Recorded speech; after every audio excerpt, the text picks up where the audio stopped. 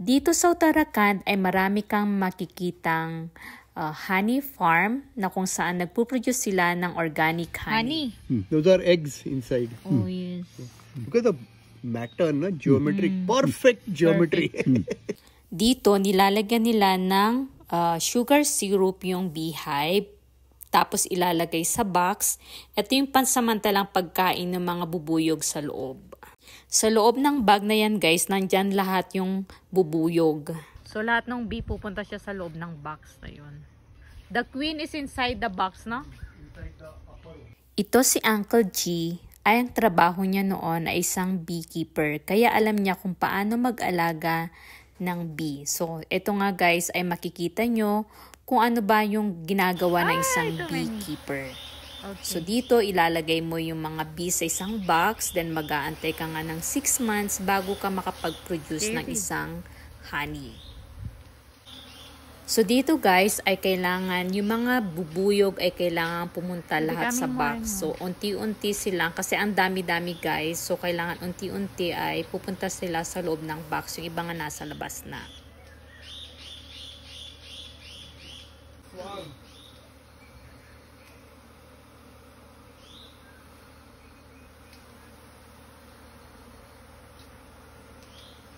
E.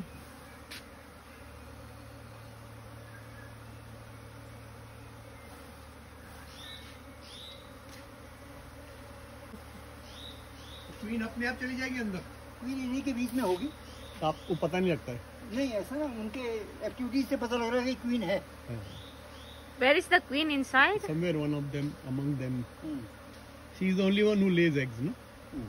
So uh, there is only one queen inside of the box. Yes, yes, can't have yes. Okay.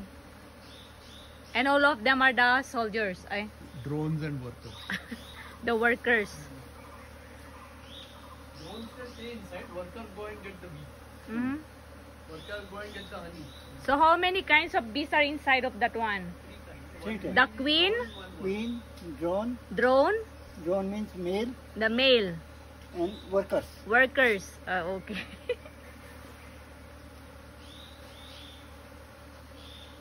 So how long the queen live? Uh,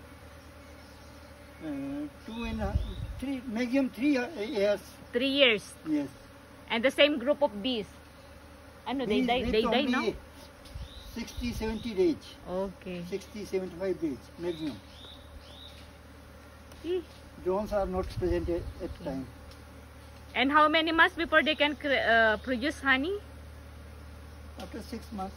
Six months, then you're going to harvest it. Oh. Yeah. Ouch.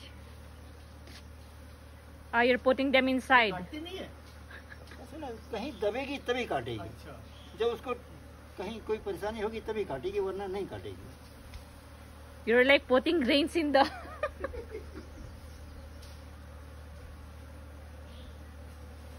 you must be really gentle. Yeah, there.